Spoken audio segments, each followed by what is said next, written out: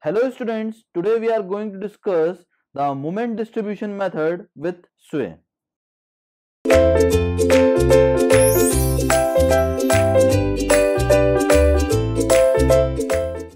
Now, we had already studied the moment distribution method in the previous lectures, okay?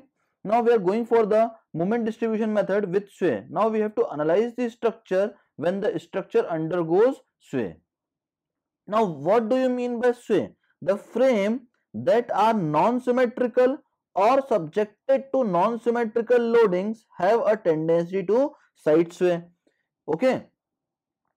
If a frame are non-symmetrical or subjected to non-symmetrical loading, then that frame has a tendency to side sway. What do you mean by side sway? If the frame will deflect in the horizontal direction like this by delta amount, that frame is said to be undergo a side sway. Okay. Now, if we want to restrain that type of sway, we need to apply a reaction here. Now, by applying a reaction here, we had just restricted the sway of this frame here. Okay. Now, if we just remove this reaction that is R or if we remove the virtual prop force that is R, then frame will deflect in the rightward direction like this by an magnitude equals to r that is r dash. And that frame is known as subjected to side sway. Clear to all? Now that is the frame subjected to sway. Now what are the conditions in which frame will undergo a sway? Okay. Now that conditions are known as unsymmetrical loading if in a frame if the loading is unsymmetrical like this okay? I had made a frame here whose support a is fixed and support b is hinged and if this frame is subjected to an unsymmetrical loading like this then the frame will deflect in the rightward direction or it will deflect in the leftward direction depending on the magnitude of load applied on the frame. So due to unsymmetrical loading frame will undergo sway. Now Second one is the unsymmetrical geometry. If we just put the moment of inertia value as 2i for AC column and i for BD column, then due to the thinner section at BD portion, frame will deflect towards rightward direction and we call this frame as subjected to sway. Okay. Now, next one is a different materialistic property of the member. If we provide different types of material in the structure then the structure will undergo a sway. Second is the different end condition. Now depending on the types of support provided on the frame the frame will have a tendency to go to a sway mechanism. Okay. Now in this diagram support a is fixed and support b is hinged. Now due to hinge support present and present at b frame will undergo a sway in the rightward direction. Next one is the generation of temperature stresses. Now, due to the generation of temperature stresses, the frame will tend to move in a particular direction either in leftward or in rightward. Then that frame is known as frame subjected to sway. And last one is the sinking of support. If any of the particular support sinks by an amount delta, then the frame then the frame will undergo a type of sway okay? Then this type of sway is known as sway of frame due to sinking of supports. Clear to all? Now we can go for the assumptions that will be used in the moment distribution method with sway. Now assumptions are same as that of moment distribution method without sway which we had analyzed in the previous lectures okay First is the axial forces and axial deformations are neglected. It means that the member tension force as well as the member compression force are neglected in case of moment distribution method. Now the clockwise moments are taken as positive and the anti-clockwise moments are taken as negative.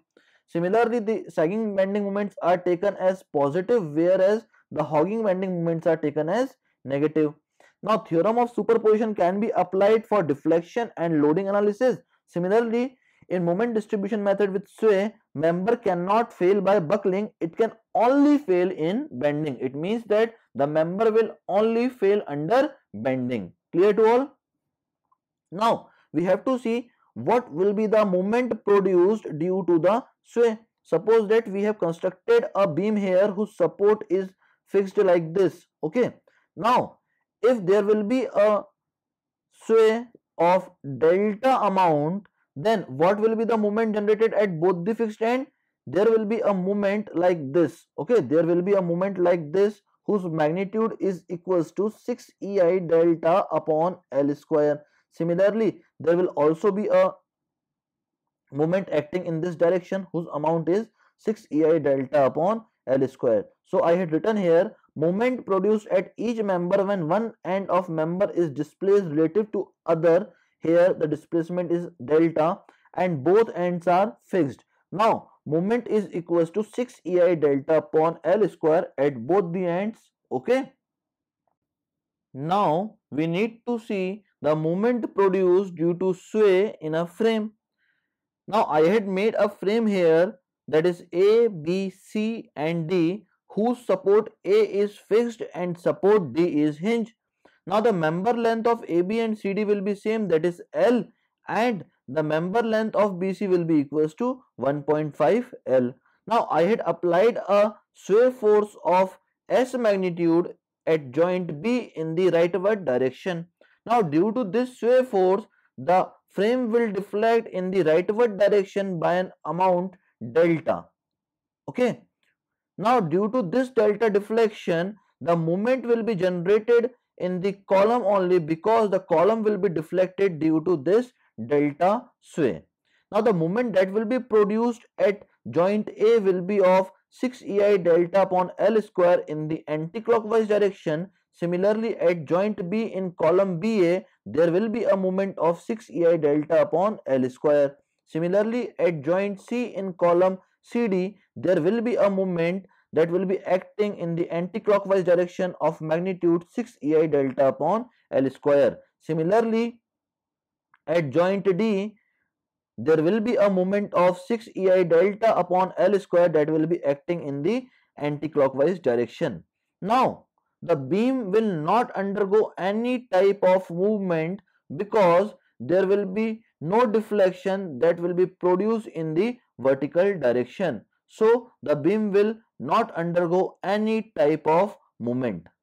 Clear to all? Now, due to hinge support at D, the support will not be able to resist this movement that is 6 EI delta upon L square. So, we need to create a moment here that will balance this moment that is 6 EI delta upon L square. So, we had applied a moment of amount 6 EI delta upon L square which will counterbalance this movement that will be acting in the anti-clockwise direction. So the resultant movement at joint D will be equals to 0. Now due to fixed support present at C or due to far end fixed we need to transfer the carry over to the far end that is of half magnitude and in the same direction and it will be equals to 3 EI delta upon L square.